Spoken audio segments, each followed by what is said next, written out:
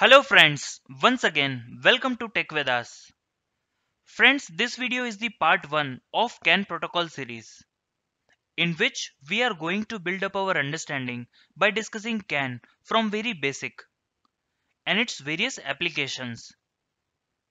This video will be quite important before jumping to various advanced concepts. So without any further delay, let's start.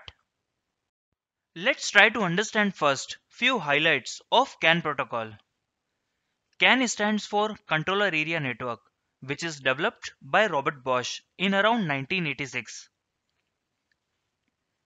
CAN bus is a standard which is designed to allow microcontrollers and other devices to communicate with each other without a host computer. The feature which makes CAN bus unique among other communication protocol is it is broadcast type of bus, which means each node can hear all transmissions.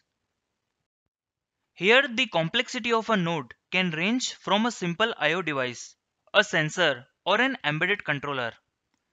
The node may also be a gateway allowing a general purpose computer to communicate over a USB or Ethernet port.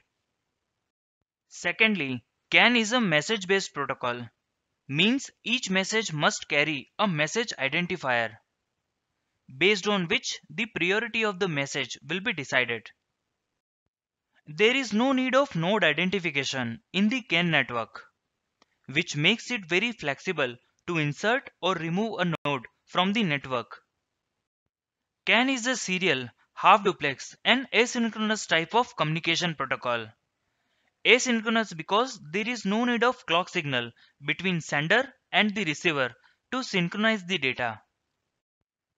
CAN is a two-wire communication protocol, which means all nodes are connected to each other through a two-wire bus.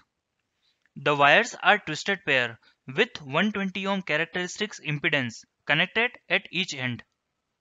Apart from this, CAN was originally designed for communication within a vehicle but now it is also used in many other contexts. And like UDS and KWP 2000, CAN bus is one of the five protocol used for onboard diagnostics. The need for a centralized standard communication protocol came into picture due to increasing number of electronic control units. In modern vehicle, there can be more than 70 ECUs for various subsystems. For example, dashboard, engine and transmission control, and many more. Here, there is no doubt if all communicating nodes are connected one-to-one, -one, the speed of communication will be high. But the network complexity and cost of wires and connectors will also be very high. In this example, alone dashboard need 8 connectors. To overcome this issue, CAN was introduced as a centralized solution which requires only two wires, CAN high and CAN low.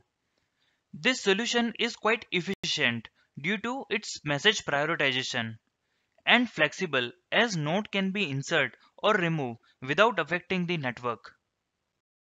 Now let's talk about its applications. As we had discussed, CAN was originally developed to target communication issue within a vehicle.